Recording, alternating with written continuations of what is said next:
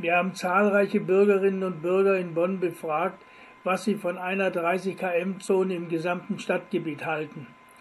Die Fußgänger waren begeistert, die Autofahrer weniger. Die Autofahrer reagierten ziemlich sauer auf die Bonner Grünen OB.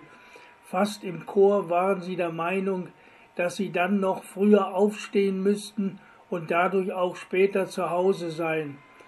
Ihnen ginge dann viel Zeit verloren. Das war auch die Meinung der Buspendler. Einige Befragte meinten gar, dass demnächst keine Autos mehr in die Innenstadt fahren dürfen. Das bekomme diese grünen OB Dörner noch hin. Am Bonn-Report-Telefon ist Dr. Christos Katzides, NRW-CDU-Landtagsabgeordneter. Herr Katzides, was ist Ihre Meinung zum OB-Vorschlag, im gesamten Bonner Stadtgebiet 30 km-Zonen einzurichten?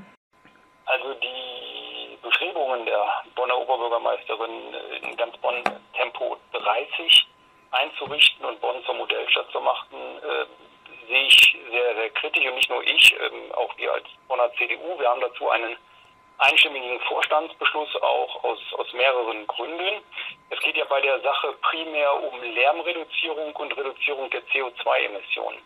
Da aber schon ein Großteil von Bonn, gerade in den Wohngebieten Tempo 30 umfasst, wird es gar nicht mehr so viele Flächen geben und Straßen, ähm, wo dann noch zusätzlich Tempo 30 gemacht werden kann, außer vorrangig auf den Hauptverkehrsachsen. Und dadurch würde man natürlich enorm den Verkehr verlangsamen.